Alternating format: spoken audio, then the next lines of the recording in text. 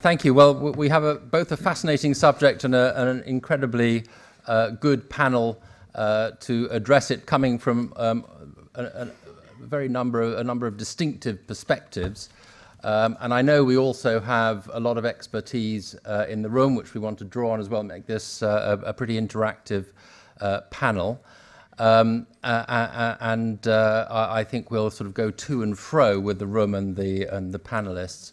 You know, The Economist was founded in 1843 to champion the cause of free trade. We were against the protectionist corn laws.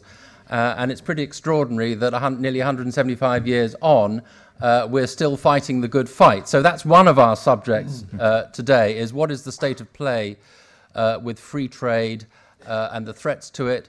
Not just Trump, but perhaps others as well will explore. And what is the impact potentially of that, if any, in, indeed, on, on shipping? Um, the link between trade and shipping is something that is, uh, and, and, between GDP and, and uh, sh shipping is very much uh, something that you'll all be familiar with. Uh, but the, there's a question about how strong it remains because of changes perhaps in the way that GDP uh, is being uh, generated these days. Certainly in container shipping, it used to be held that a, a one percentage point increase in, in, in, GDP would lead to a two to three percentage point increase in, um, in, in container shipping. But I'm told by uh, the ICS that we're now talking in terms of fractions rather than multiples in terms of the, the link. So that's, uh, that's a, quite a mind concentrating change. But then there are all sorts of other changes to the environment going on that affect uh, uh both trade and shipping, and those are ones we want to explore. Uh, there's, of course, the rise of China, very, very important player. So it's not just developments in the United States, it's, it's, the, it's the developments in China, the shift in the way that GDP is moving because of technology, shift in usage of raw materials, uh, the effect, the impact of technology on the industry, consolidation within the industry. Uh, uh having a huge, uh, a huge effect. So all these are questions we want to explore uh, today. And if I could start with you, Jan, uh, perhaps you could tell us a little bit about this macro question because it's something that you um, that you look at at, at, at UNCTAD. I, I, know you're you're keen to tell us that UNCTAD stands for free trade these days, no, not not not not a, uh, in favour of protectionism, but. Uh, you, you, you are very acutely aware, perhaps, of the, the really global nature of, of the industry and the, the forces that drive it. Yeah, yeah. Yeah, thank you, uh, Danny. And, and, yes, I said I, I, have to get this across. Uh, some of you with more gray hair or less hair will associate UNCTAD very much with some old protectionist idea of 40, 40, 20 and uh, cargoization regimes. And, and that was in, in old times, whether it was right or wrong at that time, with the idea to help uh, emerging economies to participate in, in that business. And as we all know, it, it didn't, doesn't work, this quota and, and market share. And on the contrary, today, we very much work on and promote and study and advise uh, that, in fact, liberalization of the different maritime businesses is good for emerging developing countries. Uh, without the uh, you no longer have maritime countries and non-maritime. You have uh, Philippine seafarers, Bangladesh scrapping, uh, Dubai port operators, China shipbuilding. Uh, I mean, you have all the different um, uh, countries participating in parts of the business, uh, flag of Panama, and so on and so forth. So that's something which uh, we now have really reversed, and we say talking about trade and shipping. Yes, uh, liberalizing different shipping businesses is good for development. So that's a first key point, which uh, I guess I'm preaching to the converted, but I, I think a lot of the data we have confirms this very much. In fact, uh, the second point I want to make is uh, the main, or not the main, but very often the main obstacle to trade is not so much a tariff or a quota, but it's trade efficiency. So a lot of our work these days looks at trade facilitation, trade efficiency, customs modernization, shipping connectivity, transit regimes, port modernization, port privatization, uh, so it is really not so, uh, not so much how much duty do you pay, that's a classical liberalization, but it is the cost of moving goods, which we could, if we had more time, link to the previous session. Uh, maybe we have some time later on. So uh, a third on and, and, last point then that context. So protectionism is bad. I think we, we agreed on this also before we, we sat here. Uh, it refers to trade in goods. Uh, there it's bad for development and also trade uh, liber- not uh, limiting trade and shipping service. We also believe is is not a good thing, and and um, I believe there are quite a few, um, uh, and, and, we were asked to, to have some pro potentially provocative. No, uh, Brexit was not mentioned the whole morning. Mm. um, uh, my three sons are living and studying and working in the UK. I'm very pro UK, and uh, so we have read in the press that the United Kingdom wants to double its tonnage under the United Kingdom flag, and. Maybe we have time to discuss this. I believe it will be more, more difficult to do so outside the EU because you will no longer have access to the EU cabotage market. That's I'm throwing back a question to the question no, Well, absolutely fascinating. To, to I think Brexit is is absolutely a uh, uh, a, a, topic that we should explore. But I, am curious that you, you, put, you put this broader framework uh, in, in the, uh, of what really matters. Are, are you saying that, uh, I, I, suppose, trying to get a sense of balance, how worried or otherwise relaxed should we be about current direction of, of US policy? Is, is it really not going to have all that much impact when it comes down to it? And all these other factors are mm. going to end up being uh, yeah. perhaps more important? Yeah. I, I, put that as a question, I'm not saying. Yeah, yeah no, thanks. Um, so far, I think we actually have to give a lot of credit also to the World Trade Organization, where all members, including the US, have so far refrained from a major protectionist uh, approach. Yes, there are individual policies, uh, Jones Act, and the ideas of, of uh, canceling bilateral trade agreements, but I, my, it's a really a more personal thought here. We, we all agree, and, and UNCTAD experts, World Bank experts, WTO experts, it is not good to do this, but so far the impact has not been quite as bad as we might have feared. That's my impression. So, Andreas, you're the, the, a diplomat uh, among us. Do you? Is this because you're doing your job so well that actually all these? Did we keep ourselves occupied? Uh, um, no, I would say I would say actually that I do have some concerns, uh, and I will say initially that when when we when we say free trade in a maritime perspective, I think that there are sort of two dimensions we should remember. One is that uh, free trade in terms of uh, selling and buying goods, uh, because without goods that has to be moved, there will be no shipping. So, so sort of in that way, shipping is absolutely interlinked. It's the backbone of, of, of, trade as such. So we are depending on world trade as such, and that there, there will be free flow of, uh, of, of goods. Uh, but there's also the other dimension, and that is sort of free trade of maritime services. And that means uh, we need to have fair competition, we need to have market access. Um, and I, in both in both perspectives, I, I, have some concerns. First of all, I would say that on the one side, uh, Jan was mentioning some that uh, now there are benefits for Philippines and everyone. That's true.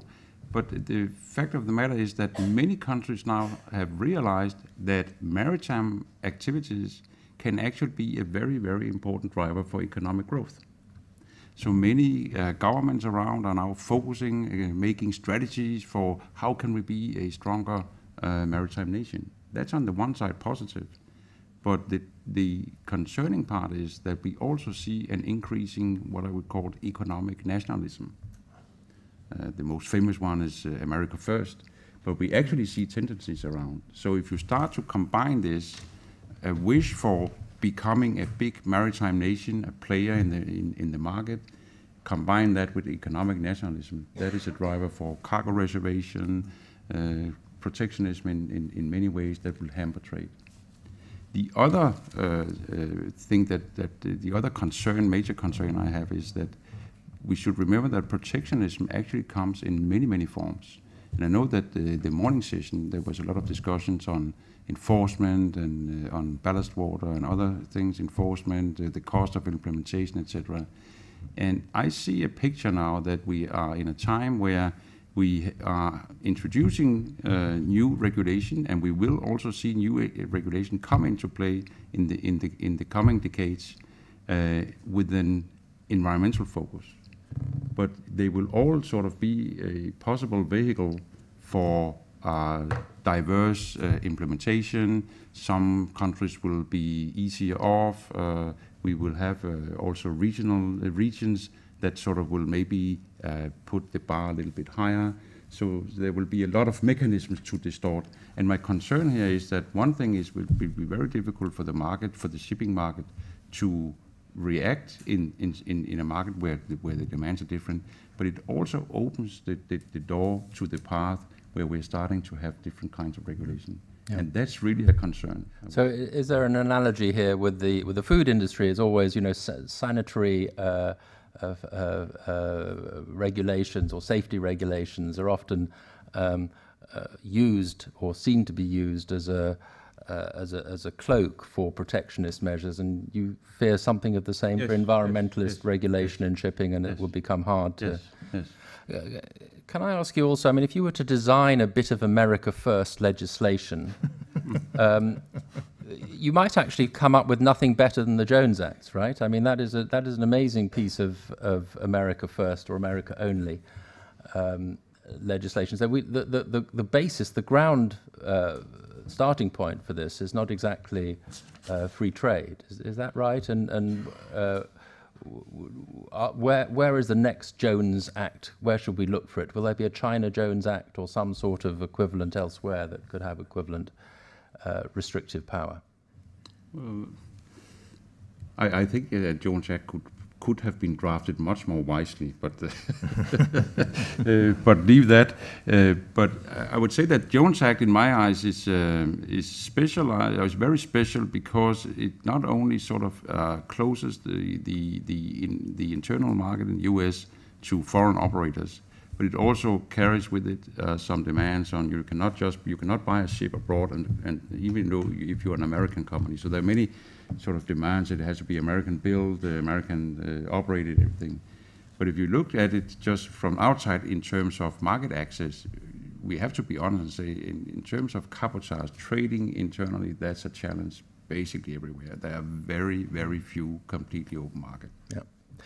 Now, Svein, you, you, uh, when we talk about international, the internationalism of this market, you sort of embody it as well as anybody because you're Norwegian, but you uh, you you uh, have worked in this global industry. You were active here, and you now uh, work for a Japanese uh, company and represent it at the ICS. So it, it's it's a sort of uh, Mr. Globalization. Um, can you give us your perspective? And also, particularly, I'm interested to hear the, the perspective on China because that's such a crucial player.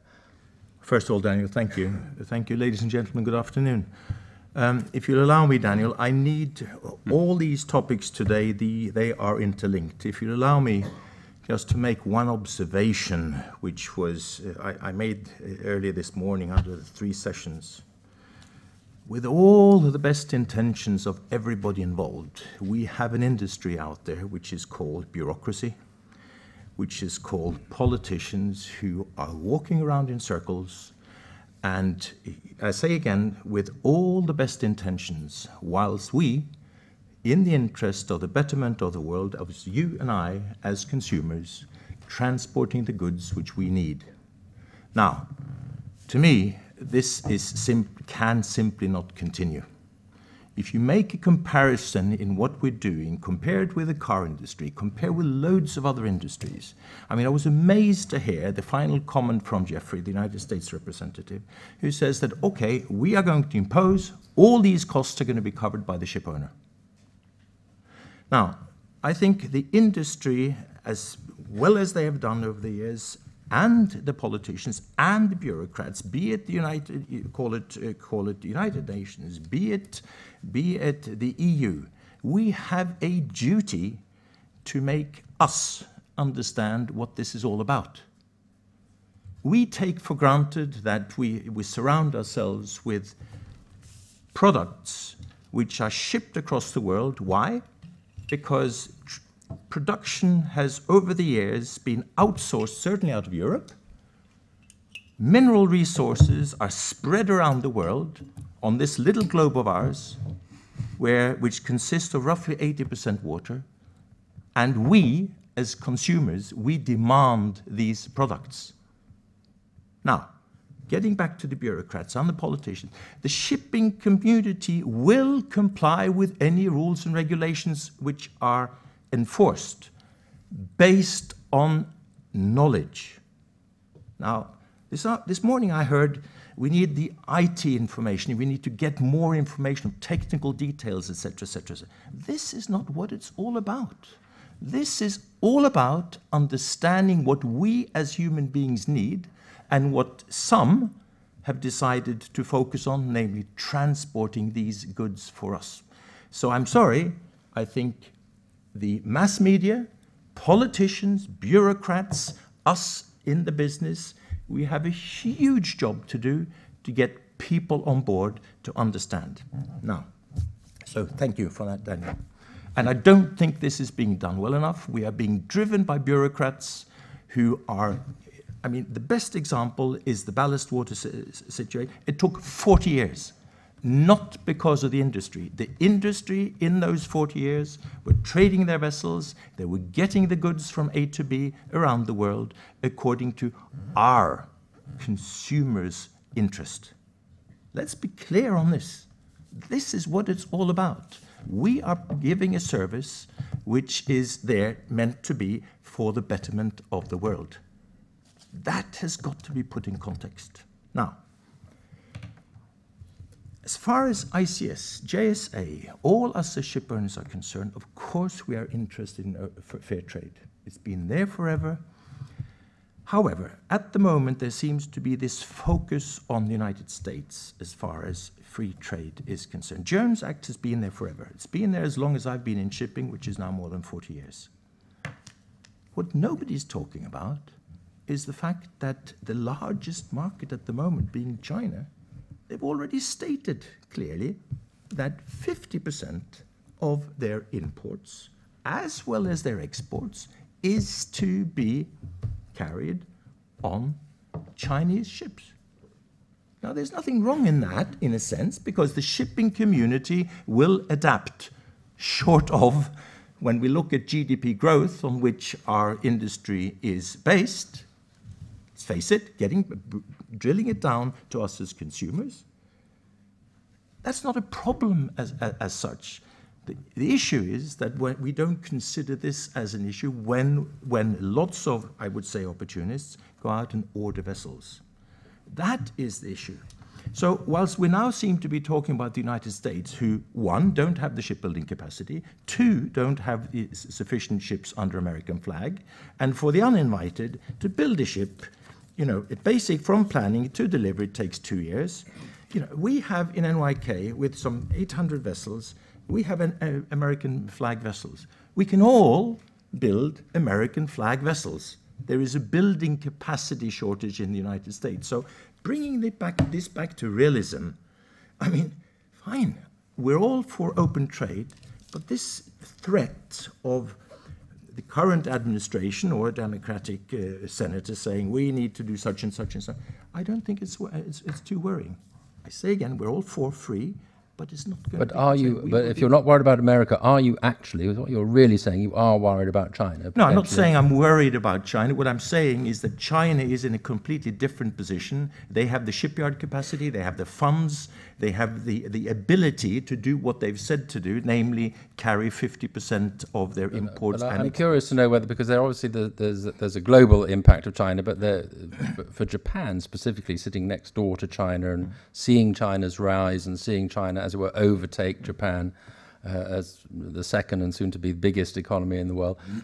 is it something that, that, that, that is a strategic and, and industry worry for, for Japan, this, this, this market power that China has? I wouldn't say it's, it's, it's a worry, it's a, I say it's a concern, which is slightly, a slightly lighter term, but nevertheless, it is what it is. The shipping community has always ma- managed to adapt to various call it rules and regulations once they appear and they will continue to do so. Frans, your take on all this, and, and particularly on the container um, side of things? Uh, well, it's uh, always containers I'm uh, thinking about. So most of the things I say might not apply to bulk or tankers, or it's a world outside my uh, perspective. Um, in principle, I think, well, whether free trade, less free trade, or less free trade, or whatever, uh, it's relevant but not decisive it's especially for containers, Uh, the products that we move, production is spread along the world, and production is increasingly uh, located in, in, in separate places, how to say, uh, a fewer number of places where products are being produced. Uh, a simple thing not being transported by container ship, at least not as a cargo, is a reefer container. Uh, it's built in China or in Chile. Uh, if you come back to the US perspective, we have Trump who wants to build, bring back uh, the assembly of cars to the US. And I recently read a short article on it, which basically said only 10% of the value is the assembly of the car. 90% of the value in it are the components, and the components are produced anywhere in the world. Uh, regardless whether you bring back the assembly to the US, these components, they will not, or at least not for the major part, produce in the, U, uh, in the US itself because it's too expensive, they don't have the knowledge, etc. Well, coming back to the Jones Act, I looked up some figures. Uh, Matson, the local carrier, uh, charges you $2,500 per TEU. Uh, Hapag-Lloyd charges approximately $1,000, being on much larger distances. Uh, OOCL, more Far East focused, it's $800. It's almost impossible. You can try to bring back production to the US, but it's impossible to compete in that way products will become very expensive for the American. Uh, I don't think they will like it. More important is, if you want to bring some, back something, is uh, have the right quality, have the right cost, either through automation or whatever, and you need a logistics chain to do it. If your logistics chain is too expensive, like in the case of intra-US, not a chance. What I think is, at least for containers, and we're now coming back to the perspective of GDP uh, trade ratio. In containers, we carry a lot of goodies, I would call them, the nice things that we want to have, some things that we need to have, also like food. But a lot of those things that we carry or used to carry, uh, they sort of become superfluous. Uh, I was thinking when I packed my stuff yesterday, 10 days ago, 10 years ago, I would, take a, I would have taken the telephone, uh, a calendar, an iPod for some music, a book for some entertainment, uh, a notebook to uh, read my email, and so you can go on. Now this thing you have in just one simple smartphone, uh, it means that some of the trade is shifted from actual trading products to trading something in the air, bits and bytes. Uh, you don't carry that. And are, are, you noticing uh, that there's two things I think happening here? One is that, as you uh, absolutely rightly mentioned, that uh, the nature of what people are consuming is is is, is changing, and there may be more uh, uh, services that are consumed and more bits and bytes rather than physical stuff, which is obviously has implications for, for the industry. Uh, but there's also a shortening potentially of supply chains uh, in the face of potential fears of protection protectionism and also worries about disruption of other sort, geopolitical risk and mm. so on. Are those things that you're uh, that you're seeing having an impact on on the container business? Uh, well, you have disruptions in the sense that you can, for example, the trading pattern can change. Like, for example, you have in, in China, in the, in the old days, all of the Chinese goodies were produced in the south of the country. Uh, since then, South is in that respect rather growing because, growing because it's developing in a sort of mature economy. It's now moving north into the country, the Bohai Rim area near, uh, near Korea.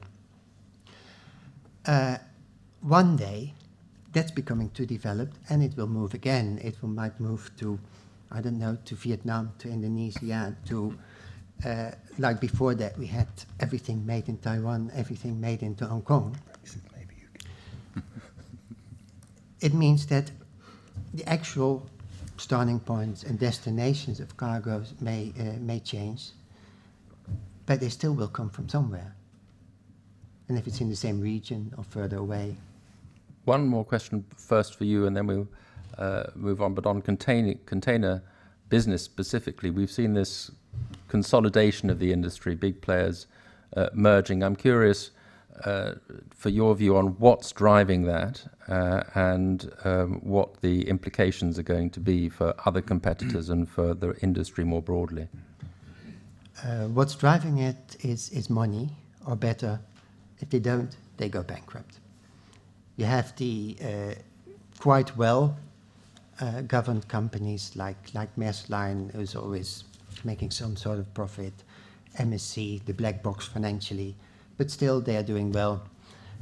Uh, you have the others on the other side, like, well, Hanjin recently went down because it, there was a hesitance of cooperation between Hyundai and Hanjin, the two compatriots. The, there are too many, or well, there still are too many players in that market to be a consolidated market. There's too much competition. So there still could be more, you expect more consolidation to, ha- to happen. Is that what you're? Uh, we, uh, we wouldn't be surprised. I wouldn't be surprised. Uh, of course, we now have the co- uh, three consolidations, two consolidations to come. The Japanese carriers, at least the container businesses. Uh, Hamburg Süd being taken over by Maersk Line, OOCL taken over by COSCO Group. Uh, actually, all five of them, they were too small to survive on their own. We've been wait, basically waiting for ages before the Japanese to announce they're working together. They're in the same trading areas, they carry the same stuff, they have the same networks, they have a different owner. Uh, so it was no surprise that they came.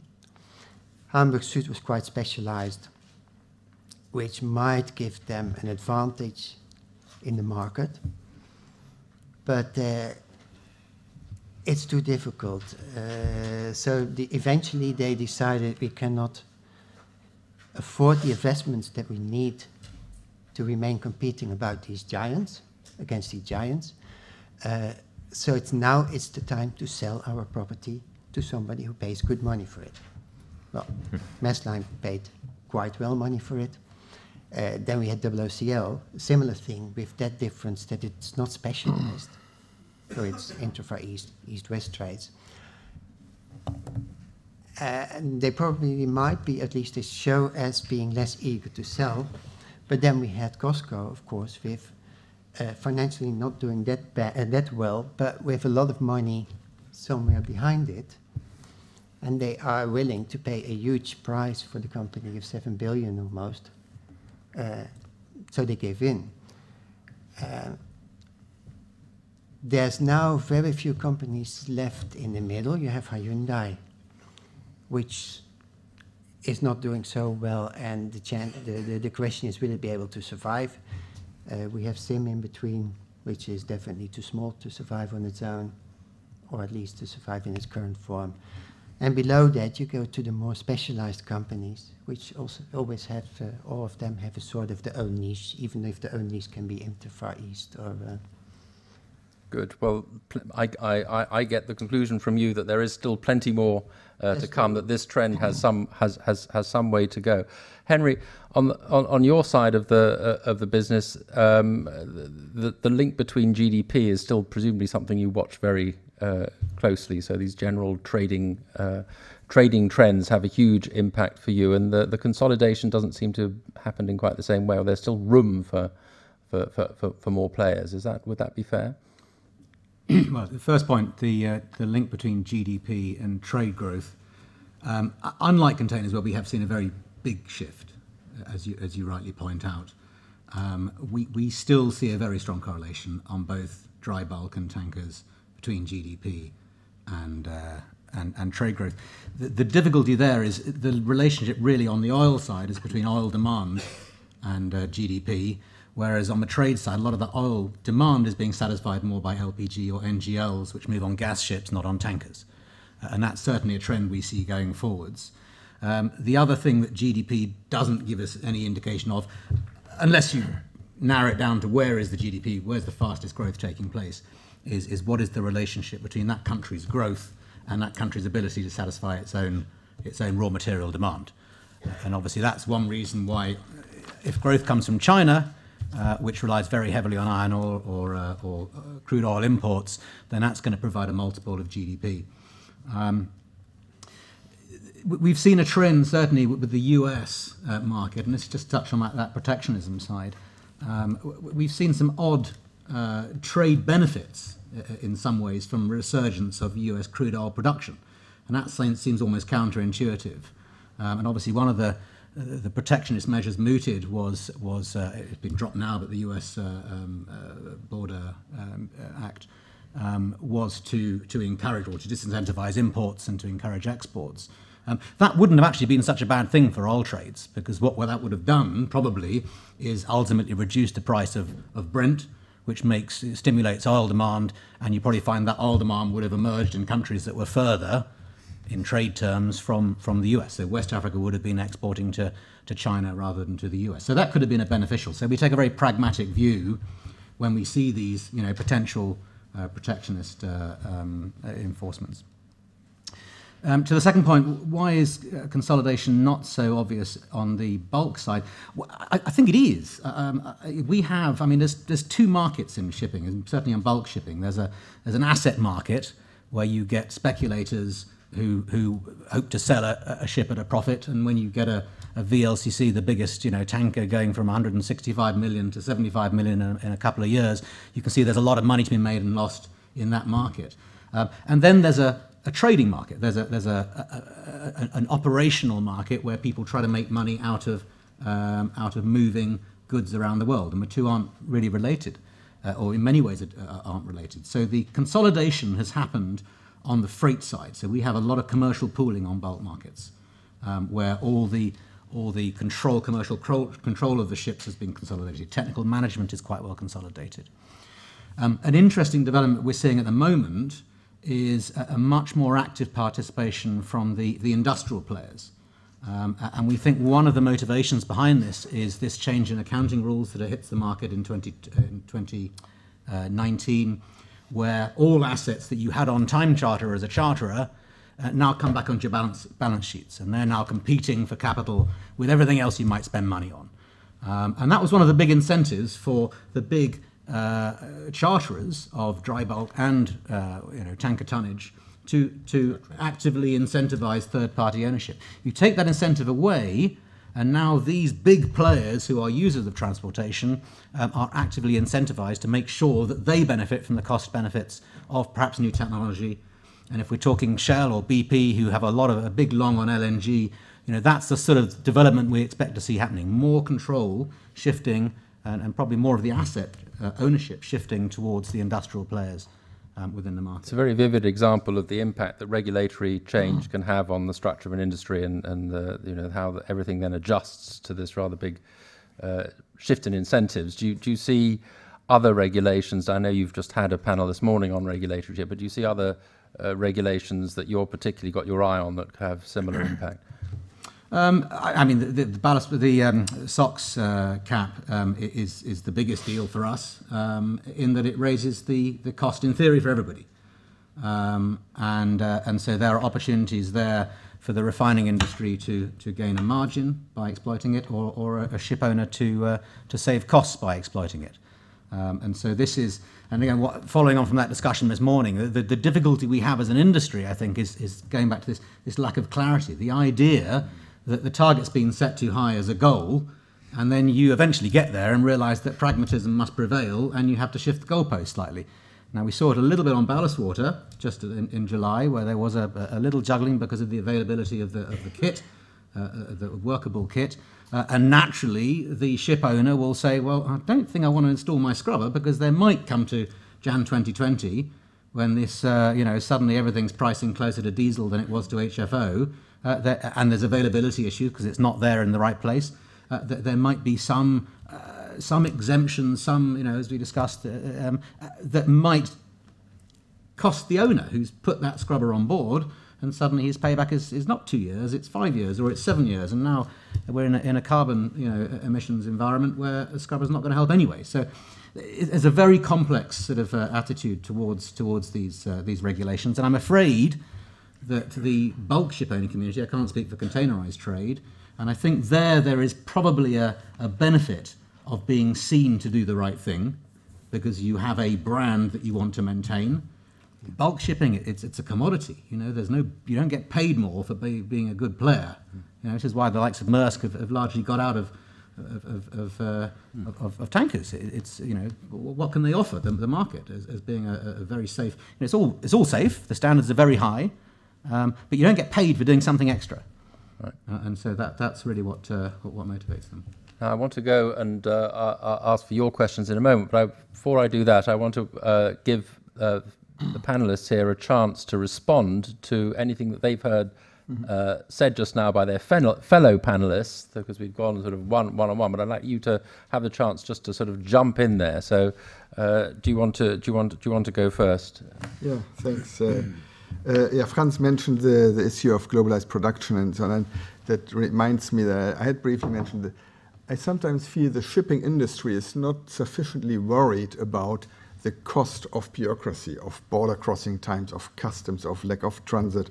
I mean, a lot of the work we do these days is on single windows, pre-arrival processing, and so on. And, and sometimes the feeling the shipping industry arrives at the port, and of course they are unhappy if, if there are waiting times and so on. But, but if the container and the cargo has to wait I mean, you measure the loading, unloading in, in moves per minute or per hour or whatever, and then the container may stay weeks or months in the port. And, and this does hamper. This we see more and more as a real obstacle to trade. A globalized production, and for, especially for this type of trade. Yeah, this is surely something the government should be worried about, because this is a fundament, fundamental thing of, of, of, economic it policy. Is, it right is a role of government, and, and uh, governments have last year or this year came in, into force the WTO trade facilitation agreement, which I think is a very good thing. But sometimes I feel the, the shipping industry could push even more lobby. So, lobby so, so is the shipping is the shipping industry not being good enough politically, is what you're saying, and, or, or clear enough about what its what its interests, where its interests lie? Or maybe they are not always uh, aware of this enough that, that this, okay. uh, if you see the long term, because it's the, the question of this panel, the linkage with GDP and trade, and, and how can we promote trade, and we see the obstacle to trade growth is increasingly the trade efficiency rather than the trade you costs. have to look at the whole ecosystem in other Exactly. Who else wants to uh, leap in with anything? Have you been outraged by anything that you've heard? Well, well I have. Uh, you know, it's uh, we, we see this all the time, and Jan, Jan's got a point. Uh, however, it brings me back to the issue of the bureaucrats and the politicians. You cannot expect. Um, let me give you a very clear example. We are in NYK, we are uh, probably the biggest maritime carrier of vehicles across the world.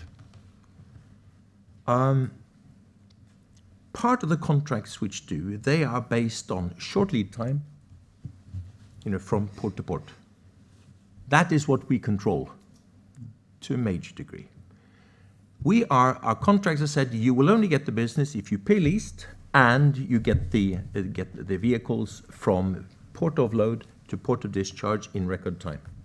This is also reference to what was said earlier this morning by the other uh, John related to the environmental side, right? So, one of my questions to one of the OEMs was at the stage, well, look, this is very, very interesting. How is it that you want us to transport these from A to B? And we have examples of your cars hanging around in ports for six weeks. Exactly. A tremendous problem. We, and here again, you know, as much as the bureaucrats are horse trading amongst themselves, I dare say that some of the customers do the same because they say, well, that's not our problem. We want you to transport, and we're at the very, very end of the end of the line when it comes to, you know, the logistics side is very, very end of the line. I'm not saying all customers are like this, but I'm saying that there are examples out there. And I'm also saying that for us as a service provider, to go and enforce or demand is extremely difficult. That can only be done through sound regulation, Absolutely. firm regulation, which we and our customers and the players uh, uh, in general need to follow. Okay, let's open it up. And uh, who would like to ask uh, a question to our panel? Down here and at the back there. But we'll go here first. Thank you. Simon Bennett from the International Chamber of Shipping. Um, I hesitate to ask this question, but looking to the future, do you think the big tech firms, um, Amazon, Uber, do you see a possibility of them intruding in the shipping industry whereby we become gav- you know, governed by algorithms? Well, I- I'd love to answer that question. Um, uh, It's, I'm sorry, it's similar to a question I was asked years back, uh, will China ever produce cars?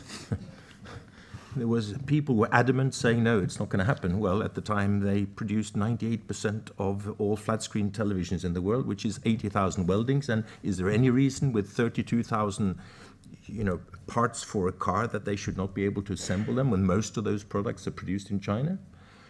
Uber, yes. I mean, it's very clear to me that, that the, the shipping industry, we are pretty old fashioned, right? I say again, with no disrespect to all the, the, you know, the push and what is done by individuals as well as organizations. There's, there's a lot of good work being done. But from an, from an IT perspective, you know, we're slow. From, you know, that others will come in and try to, you know, do things in our business. They've done it everywhere else. Why wouldn't they do it in our industry? I So, so what could you imagine the tech, the big tech? I mean, there's two different things perhaps here. One is a big tech company coming in and being a disruptor. The other would be some sort of other tech disruption from innovation of some sort, which wouldn't necessarily have to come from the uh, the, the, the the giants of the tech Auton- industry. Could come autonomous from vessels. autonomous vessels. I mean, the, the, we were talking earlier on that perhaps the biggest last disruption in the uh, in the industry was containerization, but that's now um, you know decades old. So uh, it's it's like you're slightly anomalous. It strikes me as an industry to have come this far without being majorly disrupted. So what is well, perhaps? Well, we- I, perhaps- I- I think uh, uh, the, the question raised by Simon here, I think that's really one of the very, very important questions. Uh, and I think that we should be careful, everyone of us within the shipping industry as a whole, not to just wait for Uber, Amazon, and others to come in, but actually ask ourselves, how are we going to embrace technology so that we actually will adapt? Because if you look at all the others, uh, other sectors, business sectors, those uh, big companies that was saying, no, no, no, this is, uh, we can wait. Uh, they were simply taking over. But doesn't it- I mean, I- would I say, no, I would say that the big challenge we have, and Svein was uh, addressing it actually, is that we are simply too slow to embrace new technology. If you look at just how we are operating ships, for instance, we have put information technology into the ships, but we are basically operating them in the same way as we did 100 years ago, except that now we have an engine, not a sail. We spend, we have much more written mandatory regulation stipulating how people are going to be trained using a sextant. There's not one mandatory word stipulating anything how people are going to handle information technology and cybersecurity. That's in 2010. So how about just you know a venture capital fund for the shipping industry that goes out to Silicon Valley and say, here I see, I've been sitting here listening to you all complaining about the uh, you know the terrible delays that are beyond your controls. Shouldn't you be taking the initiative and say, come on, we need technological solutions to this, and let's take it. Let's have some startups that address this. Are you looking? As I don't know who I, I don't know who the budding Mark, Book, Mark Zuckerberg is among you. but, you But uh, if I may just say, the, the speed of development here is definitely exponential. One year ago, it was big news that we launched digital certificates. Now everybody's talking about autonomous ships. So, and we see companies, Rolls-Royce, others are launching uh, news about how far they have come. We already have in Denmark a commercial operated remote control vessel. So things are moving very, very quick.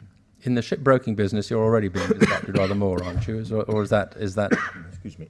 is that a Well, fair yeah, I is that mean, a fair is that a fair comment? It's, um, uh, you know, I- I- information is is what technology is providing. We were at one point in time information providers. You want to know where a ship was, you call a shipbroker, and they tell you where the ship was and what it wanted to do. I mean, that is a long time ago since a shipbroker was needed for that. It's now shipbroking is a is a service, um, and a lot of the the information gathering process is now done by uh, by by technology, by AIS uh, information. Um, or, or, or port lineup information that's fed, you know, very quickly around the world. So, you know, it's a threat to the shipbroking model, and, you know, the big shipbroking firms are thinking very hard about how to respond to that threat, there's no doubt about it. Uh, we've got examples like BHP who have set up transactional platforms that are motivated by uh, a, a, a, wish to you know, simplify the, the back office procedure to, to create uh, greater efficiency, but in the process, a commission doesn't drop out the end for a broker. So that's, that's the sort of thing that could well, could well happen, could well move beyond uh, you know, charters that operate in, in, in the same way that BHP does. There's another side to the technology that I think is, is quite interesting from the way the oil trading market works as well. Um, a lot of oil is moved around the world not by the big industrial players, Shell, BP, but by oil traders who see a, a, an advantage of buying crude oil or refined products in one place and selling it in another place. Now, that advantage is, exists because there's asymmetry of information. We don't know exactly what's being discharged there or, or, or, what's being bought there. There's just not enough information around. And of course, traders are, are working very hard to prevent that information getting out there because mm-hmm. that, that's their business model. Precisely. And I think that's one of the reasons we, I would suspect that as technology starts to, it, it is inevitable, as, as, you say, you know, it's happening already and, and the progression is, is inevitable. Um, that we do not, that we start to see even bulk shipping move into more a, a, a logistics business rather than a, a trading business. Yeah. Right. Sorry, I wanted yeah, to bring in, sorry. you were waiting to come in. Yeah. Uh, the question is maybe not so much uh, whether these companies, like uh, you just mentioned, step in and do something revolutionary in the shipping business, but uh, the question is, shouldn't shipping companies itself start searching for that? For example, recently you had Maersk Line, which is usually quite well organized, which was very much focused on digitalization, automation in its company uh, as a sort of a novelty, or at least they considered themselves a sort of a novelty in their business. But then just a simple virus pulled the whole company down and it costed hundreds of millions of US dollars. And can you imagine how that is with the rest of the companies, yeah. which are less organized? No, I can, you know, uh, to to quote uh, John of this morning. Uh, I, am sitting here with with with John Adams. That is, uh, you know, of sitting here with various hats, uh, JSA being one, NYK being one, and uh, you know various other hats uh, one being the personal one as well, but as my comments being as such. But I can tell you, in in the R system and in think it's partly done by our uh, call it Japanese competitors as well. There is working being done on the, the such issues. We are testing out autonomous vessels. We are looking at platforms, you know, transferring data from from call it from ship to shore. Um, all this is in progress. Um, I say again, we are probably way behind the, call it the technological companies, um, uh, which are, well, are obviously far advanced and running lots of what we're doing today. But there is work underway. Um, but I'd say again that you need to be a sizable company because to be able to do this, and you need to have a strategy and funding to do this because it's not inexpensive. Well, I would say on behalf of the shipping industry that you uh, ought to be uh, a little bit offended if the tech companies don't take an interest in you, mm. because you ought to be interesting enough for, for them. There was, there, was, there was one at the back there, first of all, yes, and then I'll come to you next. It on? Yes. There we go. Chris Horton speaking yeah. independently. Um, just, just slightly concerned uh, about Mr. Steimler's uh, political rhetoric, um, because there seems to be a move that all bureaucracy and politicians are necessarily an, an evil thing and a bad thing. And we, we had that coming through. You know, I'm surprised we didn't actually hear the word fake news. Um, but the, the, there was this sense that um, everything they do must be inherently uh, anti-industry. And, and then at the same time, um, there was also an argument that we need firmer regulation. So there's a dichotomy there because clearly firmer regulations are made by bureaucrats. So some bureaucrats are going to have to make the firm regulations. So are we against them or for them is the question, I suppose. And, and the main underpinning question about that is that if we don't like, we live within a democratic system largely, and if we don't like what the bureaucrats and politicians are doing, then surely there are ways democratically in which we can change that. Svein, I think we come to you on that since you're. No, I don't mind that question at all, and I appreciate the question. It's uh, highly appropriate. But when we hear, as you heard this morning, that it took 40 years to implement a ballast water system, to me, there's something wrong in that system. We have no, as the shipping industry, we have no problems if the technology is there to implement it uh, quickly. There was another comment this morning. We are, as far as greenhouse gases are concerned, you know, we, we're all concerned about this little globe of ours. I have grandchildren as well. I want them to live in a healthy world. I want to contribute to the betterment of this world from, from an environmental point of view as well. But if bureaucrats and politicians do horse trading amongst themselves, and I apologize, it might, to me, it seems that way. One department not speaking to the other one, and with, with different interests, and not to say, I mean, we've just had elections in Norway, and fantastic arguments throughout the, throughout the year. We've had, you know, the point I'm trying to make is that there's a timeline there which we, in the interest, us as human beings, need to shorten. That is the whole point. I don't mind regulation. I'm not holier than the Pope. I, if I'm told to drive at 80 miles an hour, I will do my utmost, if I have lots of time that day, to stick to that, to stick to that, uh, that, that speed limit. Uh, I say again, I'm not holier than the Pope, and I dare say the industry will do this as well, if the if the reasons and call it the the law is based on know-how not ignorance.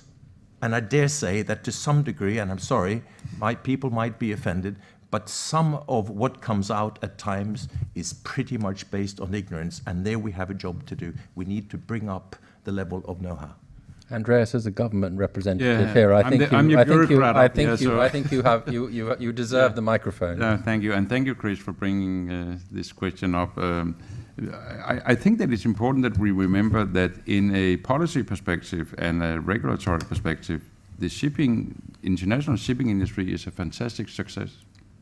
We have actually managed to make a completely international set of regulation. It's actually possible to be completely global in your company structure, in the way you operate. You can you can hire people internationally, and and you know wherever you go, basically, it's the same set of regulation. That is a huge achievement. Hmm. And remember, we are sitting when we are negotiating this. We are more than 100 countries that has to to agree. And trying, I on the one side, I understand what you're saying, say, but it has to be based on know-how. Okay, we are 137 countries that has to first agree what is know-how. But that's just how the way it, it, it works. So sometimes it takes time actually to reach into agreement. But don't forget that when we have reached an agreement within the maritime sector, we are, I would say, we have very, very good performance. Just mm-hmm. think about the problems we had 30 years ago. Substandard shipping, people having completely unacceptable working conditions, uh, huge, huge concerns, safety-wise, environmental-wise. And look at it today. That's where international regulation brought us. So I totally agree on, you know, I, I love bureaucracy as long as it do not get bureaucratic.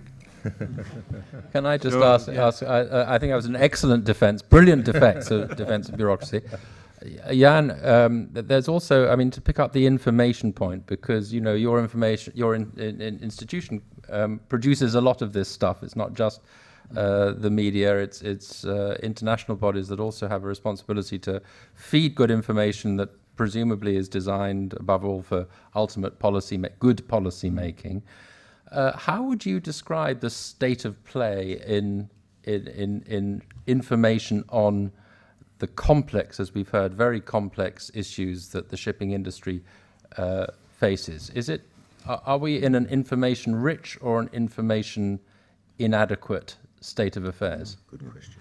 Oh, good, good question. I hadn't really prepared for this, but I, it, I, I would very much want to support uh, Andreas' perspective there. Glass can be half full, half empty. Uh, and and I, I mentioned earlier this morning I used to work for the IMO Secretariat, and and it is actually quite positive of what, what has been achieved so far. But at the same time, it is also uh, true that very often we feel that the information on which decisions are based is insufficient. It's a lot of, I mean, we all have to work together. My terms of reference paid for, my, my salary is paid by your taxes, thank you very much. Uh, so, uh, and, and I'm, I'm asked actually to do capacity building information for our member countries. So, so that's point very well taken. So and you, you partly have to identify the gaps, yeah, right? Exactly, exactly. And a lot of the work we do, and again, that's what I, I tried to share earlier. We feel one of the key gaps these days is actually on trade efficiency and not so much on the amount of duty, which is discussed more often, also in The Economist, as compared to trade efficiency. But so that's the type of thing we do, and and uh, a lot of uh, yeah our members, our clients, uh, they contract us to do this type of training, research, gap, ana- gap analysis. Very much is is the work uh, we do there. The linkages to GDP, trade. Uh, I did have uh, this little note here. The, the starting point question here was this GDP trade linkage. And, and we used to say GDP or trade grew two to three times faster than GDP over many decades. Um, and this has now gone down. There's a lot of discussion. Do we have a new paradigm? That, that's the type of research we do also at UNCTAD together with World Bank, WTO, IMF. Is there something new? And, and there are different opinions there. My personal view, looking at the data and regressions and correlations, is actually we do not have a new paradigm. It is still the same statistical correlation. It is just that trade has started to grow slower. And in previous periods where we had trade growth that was that slow, like early 80s, we also had trade, sorry, GDP growing that, that low. We also had trade growing below GDP.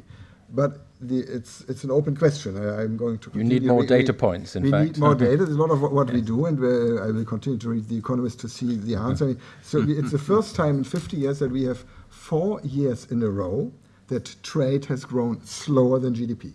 So there is something new there. There's something different. And yeah, I still have 13 years until my retirement, so I keep working on it. Very good. Gentleman here.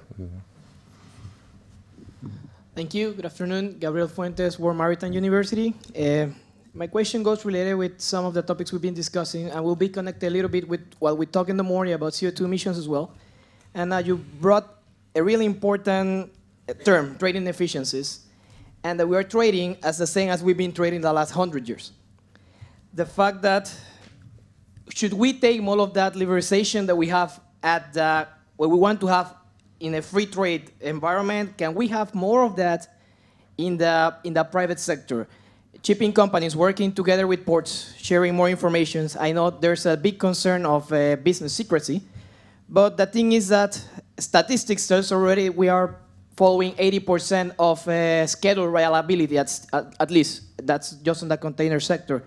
If we are moving 90% of the cargo, and most of that is unreliable, you have suboptimal results at the moment you're going to keep your trading uh, if you want to have your trade efficiently as possible.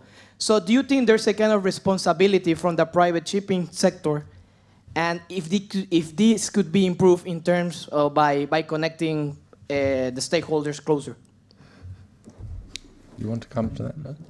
There's, um, there can be a serious problem in sharing information, and well, my neighbor can certainly reply on that. Uh, authorities, or they have, they're dead scared for authorities. Uh, recently in the US, the Department of Justice, it was, I think, raided ship owners, ship carriers, I should say, coming together uh, with a sort of, uh, on a sort of collusion Collusion, yeah. problem. And the Japanese withdrew from all the conferences because they did not dare to run the risk of being accused of collusion. Uh, a lot of the uh, RoRo guys have been uh, charged or fined by the various South Africa, Australia, I think, US. Uh, so I don't think there will many companies will be very eager to share information, uh, certainly not informally, uh, sorry, formally, not informally.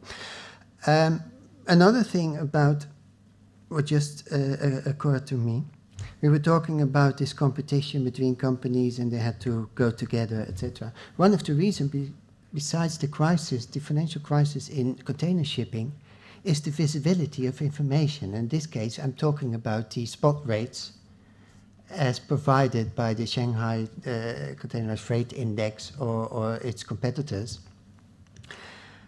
Everybody basically nowadays knows what shipping companies charge, at least for spot cargo. Uh, and in the, in the previous time, in the older days, it was that shippers had contracts with the carriers, fixed prices, or sort of, my neighbor can tell, and the spot rates was the exception. Nowadays, you have the contracts where there's a fixed price and immediately a clause that is linked to the spot rate. So uh, I think this, this, this whole question uh, relates also to what Henry you were talking about, which was this sort of move towards transparency.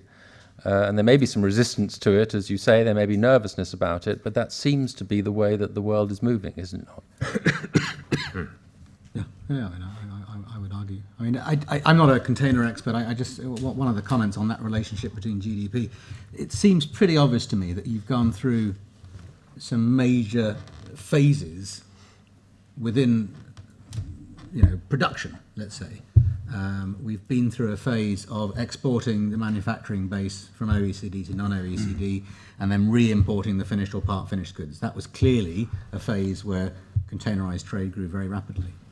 Uh, then we've moved to a phase where a lot of the GDP growth that was adding to that global figure was coming from those developing countries who were consuming a lot of those finished or part finished goods domestically, which is going to result in lower finished or part finished uh, containerized trade exports. Now we're entering a phase and, and, I think I've read this in your publication, where a lot of that production through technological changes is being done in OECD countries. So you've got uh, you know, different printing techniques and uh, yep. the, the, the, you know, whatever happens is perhaps coming back to the beginning of the discussion, whatever happens in terms of trade protection, it's probably inevitable that a lot of that trade in finished goods, the raw material trade, you know, I think has, has got some longevity, but the trade in finishing goods finished goods, that, that has, um, th- that's at risk. Uh, from, from where I sit, I'm not a containerized, containerized trade expert, but that would be my, my observation. Yeah, I think these may have to be the last two questions, but we, perhaps we'll take them both um, together and then and then give uh, panelists a chance to answer. Yeah. Um, Neville Smith from Mariner Communications. Henry, I was interested to know your thoughts on.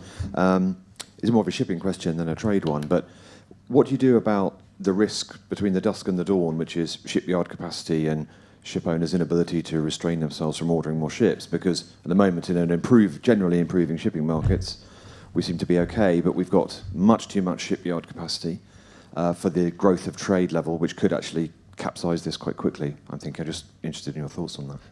Yeah, I mean, you're comparing a market you know, today where you could order a, you know, a ship of pretty much any type and have it delivered within within a you know a year and a half, two years, um, you know that can flatten the spike pretty quickly. Uh, compared to you know 2004, 2008, you'd have to wait five years for your vessel. So so in that period, you could have some sustained high income for, for uh, until yards had the ability to uh, to supply the tonnage to um, to, to, to, to add to the, the supply side. So, so now, yeah, there's a, there's a very real, a very real possibility that a lot of those, a lot of that volatility that we've seen, particularly in the asset curves, um, you know, you, you'll get the volatility, but it'll be much shorter lived because now we have the ability to produce that supply to cover it.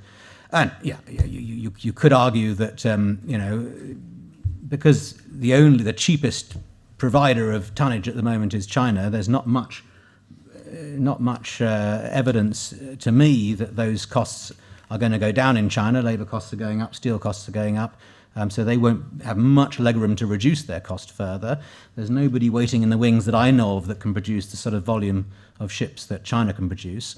So there is an argument that says that at that new building price, even the low new building price today, you could not justify an order if, unless you see some real volatility in, in, in, the market. You know, if it's just the, the sort of long-term time charter rates that we're looking at, you would not be able to justify a new building um, at today's very low prices based on that market. And so I think you know if you remove that real volatility, you're starting to change the paradigm of the industry. Question behind you. Thank you very much. Nicola Price Roberts from Southampton Solent University. Last week, I spent three days at the Logistics Research Network conference, uh, which we hosted at the university, and there were some very interesting um, papers on research that is being carried out about the future. And one of the things that came out is what Henry has just said. Um, the, the predictions, the, the research that's being done now for the logisticians is that there will be very much um, manufacturing coming back to OECD countries because of the rise in 3D and something that was completely new to me, 4D printing. Okay. Do you know what that is? Uh, Yes, I, I, I of, of course, I'm a good academic. I looked it up afterwards. Um, 4D printing is 3D printing, and the thing that is printed can subsequently, in time, change its form. Okay.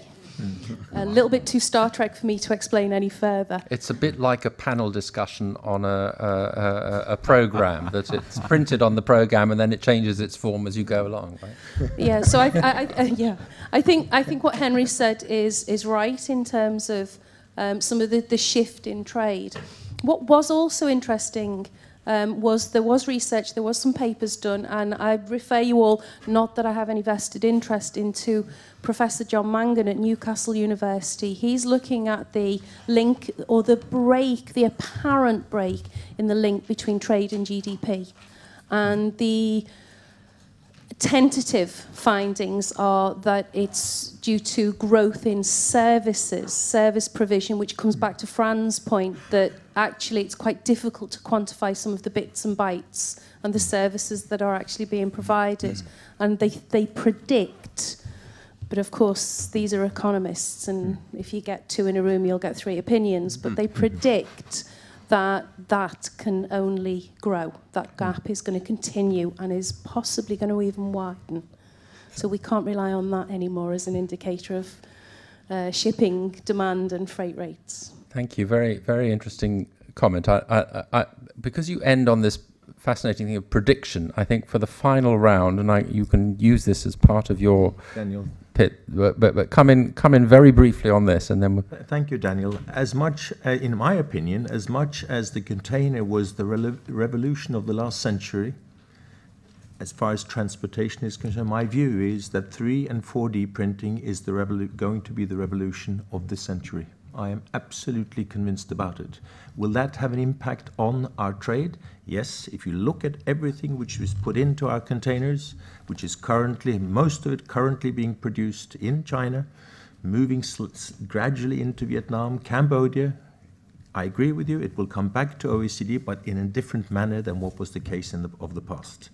I'd like to respond to your question. Uh, the, the, the second to last question being this of, uh, you know, cheap, uh, uh, cheap, call it prices low, low for going out to contract vessels. The industry has a challenge when banks, banks themselves go out and contract vessels with no means other than wanting to take a profit once that the market picks up again and they can turn that ship around.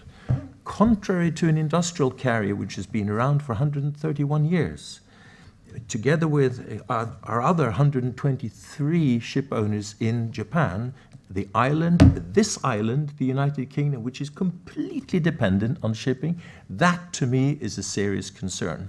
And lastly, when it comes to cooperation, yes, we would, of course, I would encourage cooperation.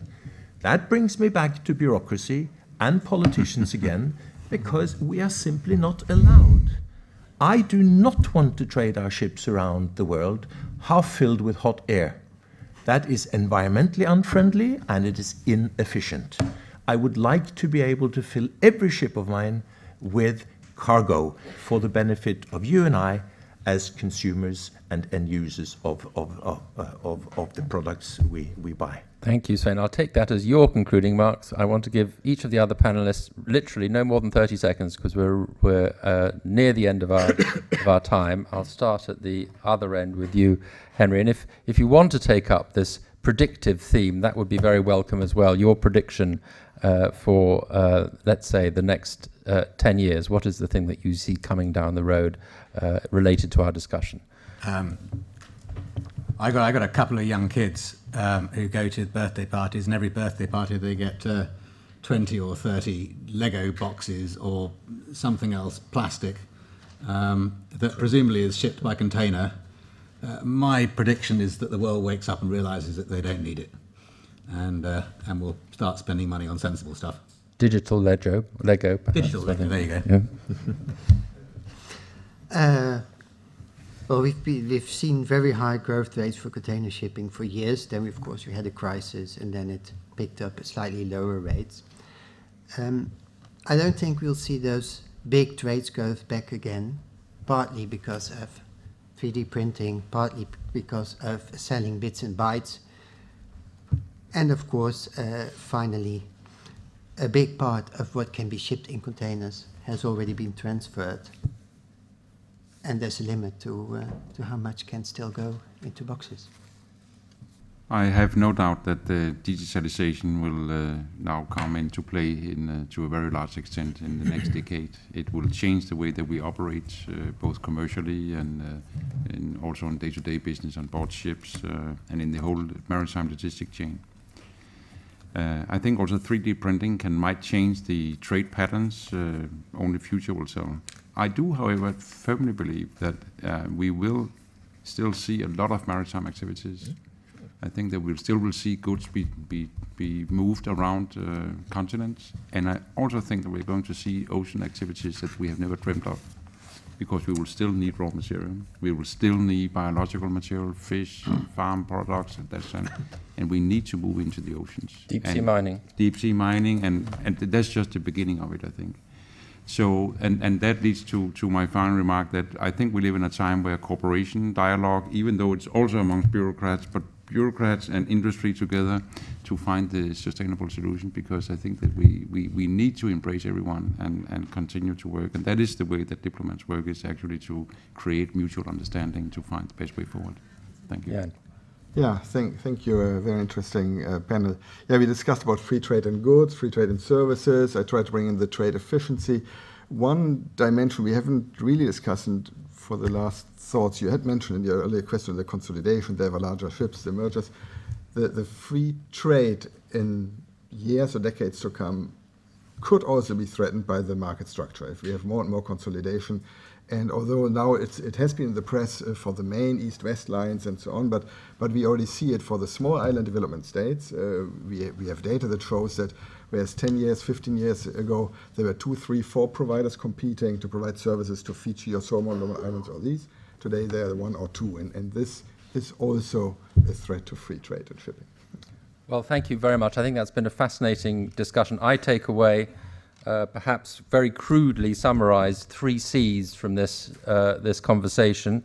Uh, the first is complexity. I think you've all demonstrated how this is a very uh, uh, complex ecosystem that we're talking about, and, and uh, not just what happens in the ships, but what happens on the shore, what happens in different elements of the shipping industry, and, and then you have the, the whole dimension of government policy and bureaucratic uh, regula regulation. So it's, it's an incredibly uh, varied scene, and you've helped us, to use the shipping metaphor, navigate through it, I think, very ably. Second C is compliant. It seems to me that the we've heard again and again that the the industry gets on with whatever is thrown at it. been amazingly resilient down the down the centuries as a result of of that, and I see no reason why that shouldn't be uh, continue to be the case.